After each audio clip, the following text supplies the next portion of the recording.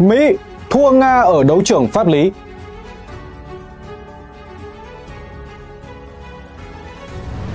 Hoàng Hải xin kính chào quý vị. Kính thưa quý vị, Tòa án hình sự quốc tế ICC là một tổ chức quốc tế mà ở đó mang trong mình đầy mùi chính trị. Trong một diễn biến đáng kinh ngạc, có vẻ như là Tổng thống Hoa Kỳ Joe Biden sẽ rút lui khỏi việc hợp tác với Tòa án hình sự quốc tế ICC và sẽ không tố cáo Nga vi phạm tội ác chiến tranh trước Tòa án hình sự quốc tế tại La Hay. Tin tức này khá thú vị. Chẳng phải là Hoa Kỳ luôn muốn tiêu diệt Nga hay sao? Đây là một cơ hội tốt để khiến Nga phải hứng chịu hình phạt do tội ác chiến tranh của họ. Vậy thì tại sao Hoa Kỳ lại bỏ lỡ cơ hội này? Có gì ẩn giấu phía sau quyết định này của Hoa Kỳ hay không? Hoàng Hải xin mời quý vị đi tìm lời giải cho thắc mắc này ngay sau đây. Ngậm ngùi phế bỏ lá bài tấn công Nga ở Tòa án Hình sự Quốc tế là hay.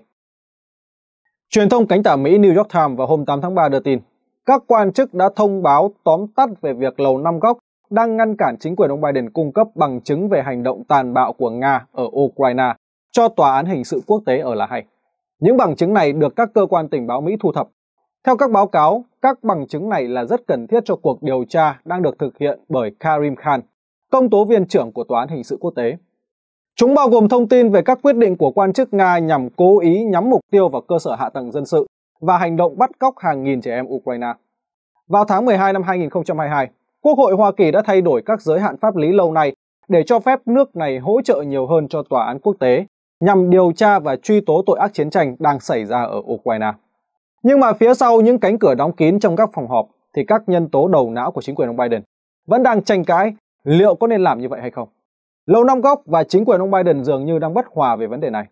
Các quan chức Nhà Trắng đã hoàn toàn bị sốc trước việc Lầu Năm Góc phản đối việc hỗ trợ tòa án hình sự quốc tế và để giải quyết được xung đột, thậm chí Hội đồng An ninh Quốc gia đã phải triệu tập một cuộc họp cấp nội các vào ngày 3 tháng 2.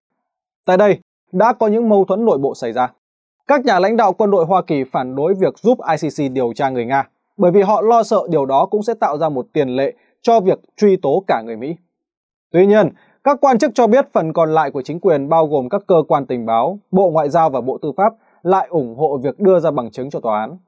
Tòa án hình sự quốc tế ICC và Hoa Kỳ đã có bất hòa kể từ khi mà tổ chức này được thành lập vào năm 2002. Chính phủ Hoa Kỳ đã liên tục phản đối thẩm quyền của ICC trong việc truy tố các tội ác chiến tranh và các hành vi vi phạm luật pháp quốc tế khác. Họ chỉ thích dựa trên hệ thống tư pháp của chính mình. Hoa Kỳ đã lập luận rằng vì tòa án hình sự quốc tế không chịu trách nhiệm trước bất kỳ một quốc gia hay chính phủ nào, nên cả công dân Hoa Kỳ và các hoạt động của Hoa Kỳ đều không phải chịu sự phán quyết của tòa án. Họ cho rằng tòa án hình sự quốc tế có thành kiến với mình và lo ngại các phán quyết của tòa án này có thể được sử dụng về mặt chính trị để gây tổn hại cho Hoa Kỳ và các lợi ích của Hoa Kỳ.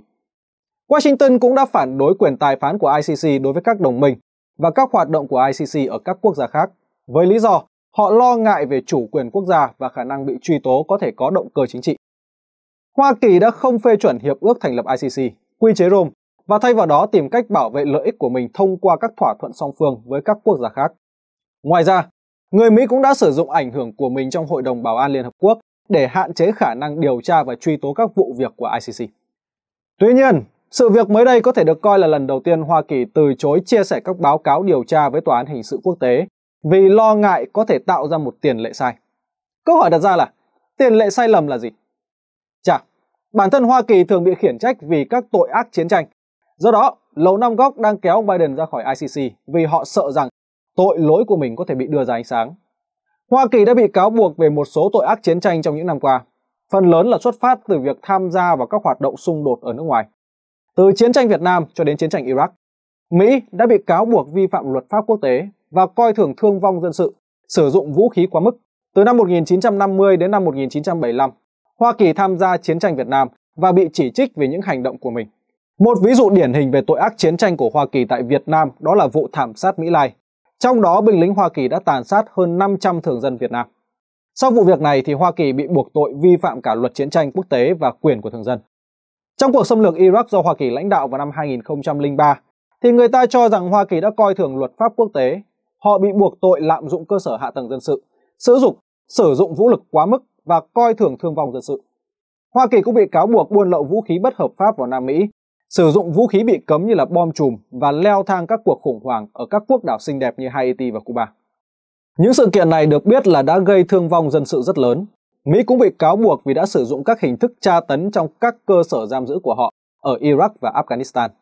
Vì vậy, có thể nói rằng chính phủ Mỹ là một trong những quốc gia phạm tội thời chiến nhiều nhất trên trái đất. Lầu Năm Góc lo ngại việc chia sẻ thông tin với ICC sẽ mở ra chiếc hộp Pandora chứa đựng những tội ác của chính họ. Gần đây thì Hoa Kỳ đang bị buộc tội phá hoại các đường ống Nord Stream, khiến cho các quốc gia châu Âu không có bất kỳ một nguồn cung cấp năng lượng đảm bảo nào. Và vì vậy, các quốc gia châu Âu đang kêu gọi công lý tại ICC. Ngoài ra, công tố viên Tòa án Hình sự Quốc tế cũng đã nhanh chóng theo dõi các cuộc điều tra về tội ác chiến tranh có thể xảy ra ở Ukraine. 39 quốc gia hầu hết là các quốc gia châu Âu đã đưa ra lời kêu gọi theo dõi. Như chúng ta đã biết, một thực tế chứng minh rõ ràng là Hoa Kỳ cũng là một bên tham gia tích cực vào cuộc chiến Ukraine, bởi vì nước này đã liên tục hỗ trợ Kiev. Một thực thể vốn đã bị cho là vi phạm tội ác chiến tranh. Điển hình là việc Ukraine dùng tên lửa HIMARS để thủ tiêu các tù binh thuộc quân đoàn Azov đã bị người Nga bắt giữ nhằm bịt miệng những người này để họ không tiết lộ cho phía Nga về các tội ác chiến tranh mà Azov đã gây ra. Ngoài ra, Ukraine còn sử dụng bệnh nhân trong bệnh viện làm lá chắn sống để sống sót sau các cuộc tấn công của người Nga. Chính Liên Hợp Quốc cũng đã nói rằng Ukraine phải chịu trách nhiệm về vụ tấn công tại Viện Dưỡng Lão. Nói chung là bàn tay của ai trong cuộc chiến này cũng đều với máu đồng loại.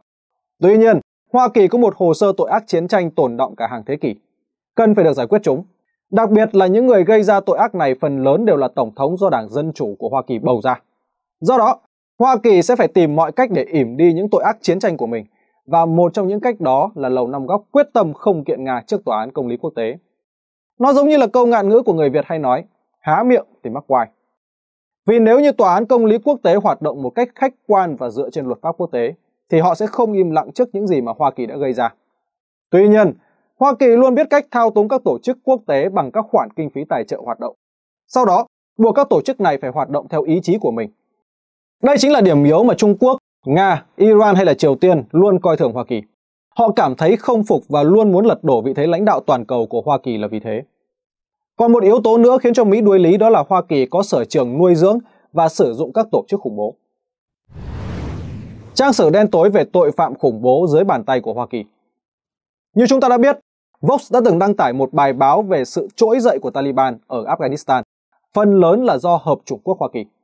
Để chống lại Liên Xô, Mỹ ban đầu đã cung cấp vũ khí và huấn luyện cho Taliban vào cuối những năm 1990. Kết quả là Taliban và Mujahideen đã có thể giành được quyền kiểm soát một phần lớn Afghanistan và thành lập một chính phủ Hồi giáo chính thống. Mỹ cũng đã hỗ trợ viện trợ quân sự và kinh tế cho Taliban ở Afghanistan. Điều này cho phép Taliban duy trì quyền kiểm soát của họ đối với phần lớn lãnh thổ đất nước và thực thi chính sách hà khắc đối với luật Hồi giáo. Sau đó, vụ tấn công 11 tháng 9 đã xảy ra và lúc này người Mỹ mới chợt nhận ra rằng lực lượng Taliban mà họ tạo ra bây giờ đây đang quay lại để tấn công họ. Trong chiến tranh thế giới lần thứ hai, Hoa Kỳ ban đầu cũng không nhận ra được mức độ nghiêm trọng trong tham vọng của Hitler khi mà ông ta gieo rắc sự tàn phá ở châu Âu. Chỉ sau cuộc xâm lược Ba Lan vào tháng 9 năm 1939 và những lời tuyên chiến sau đó của Anh và Pháp, mức độ nghiêm trọng của tình hình mới trở nên rõ ràng hơn. Năm 2023 thì lịch sử một lần nữa đã lặp lại và chúng tôi đang muốn nói tới tiểu đoàn Azov. Hẳn là quý vị còn nhớ tới một báo cáo của CTV News khi họ cung cấp bằng chứng về việc Canada đã đào tạo những kẻ cực đoan Ukraine ra sao. Do các mối liên hệ với tân quốc xã của tiểu đoàn Azov, cả Canada và Hoa Kỳ đã từng tuyên bố rằng họ sẽ không công nhận các chiến binh Azov.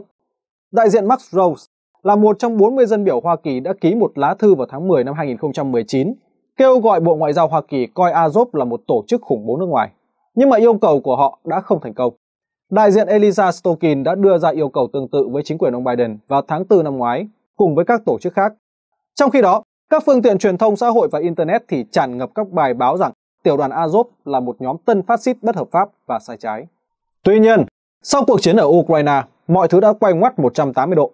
Phương Tây bắt đầu thu hút được sự ủng hộ rộng rãi của quốc tế dành cho Azov. Các nền tảng truyền thông xã hội cũng đã điều chỉnh chính sách của họ để hỗ trợ các hệ tư tưởng của Azov. Chính CNN cũng đã thừa nhận rằng tiểu đoàn Azov hiện đã trở thành một lực lượng quan trọng nhất của phương Tây để chống lại Nga. Nó có một lực lượng tinh vi và sở hữu các loại vũ khí sát thương cao. Wall Street Journal đã đăng tải một bài báo có tiêu đề là Tiểu đoàn Azov của Ukraine tìm cách tập hợp lại và làm sạch hình ảnh. Sau đó, ông Zelensky đã chính thức sát nhập các chiến binh Azov vào quân đội Ukraine. Vì vậy, sẽ không sai khi khẳng định rằng tiểu đoàn Azov bây giờ đây là quân đội Ukraine. Chính vì Mỹ sở hữu một bộ hồ sơ dày cộp về việc tài trợ và sử dụng các tổ chức khủng bố để làm công cụ thực hiện kế hoạch chính trị, cho nên bây giờ đây việc cáo buộc Nga vi phạm tội ác chiến tranh hay là chính phủ Nga là nhà nước tài trợ cho khủng bố trở nên vô cùng khó khăn. Vì nếu làm vậy thì Mỹ sẽ há miệng mắc quài. Như chúng ta đã biết, nuôi dưỡng và sử dụng các tổ chức khủng bố chẳng khác gì đùa với lửa. Nước Mỹ đã có một bài học sâu sắc sau vụ tấn công 11 tháng 9. Điều gì sẽ đảm bảo an toàn cho người Mỹ khi họ nuôi dưỡng chủ nghĩa tân phát xít Azov ở Ukraine? Theo CBS News, các quan chức cho biết hai nghi phạm đã bị bắt vì âm mưu tấn công lưới điện Baltimore. Đáng chú ý là những kẻ chủ mưu Sarah Ben Glenn Daniel và Brandon Glenn Russell lại có liên hệ với tiểu đoàn Azov của Ukraine. Tuy nhiên, các phương tiện truyền thông Hoa Kỳ lại im lặng trước tin tức này. Khi tra cứu thông tin về Brandon Glenn Russell, thì chúng tôi đã tìm thấy thông tin. Tên này là người đã thành lập sư đoàn Atomic Waffen, là một tổ chức khủng bố tân quốc xã quốc tế dựa trên hệ tư tưởng của nhóm tiểu đoàn Azov, còn được gọi là mặt trận kháng chiến xã hội chủ nghĩa quốc gia. Ngoài mối đe dọa đến với Hoa Kỳ, châu Âu cũng không thể bình an vô sự khi mà chủ nghĩa tân phát xít này lớn mạnh. Do đó, các nước phương Tây đang mù quáng trước tham vọng tiêu diệt Nga, đến nỗi họ không nhận ra rằng họ đang nuôi dưỡng một con quái vật mang tên Azov. Việc nuôi dưỡng và chống lưng cho các tổ chức khủng bố để chống lại kẻ thù chính trị rõ ràng là một chiêu độc. Rất có thể chính phương Tây sẽ lầm vào cảnh gậy ông đập lưng ông. Và bài bình luận ngày hôm nay của chúng tôi xin kết thúc tại đây. Cảm ơn quý vị đã quan tâm theo dõi. Xin chào và hẹn gặp lại trong các chương trình tiếp theo.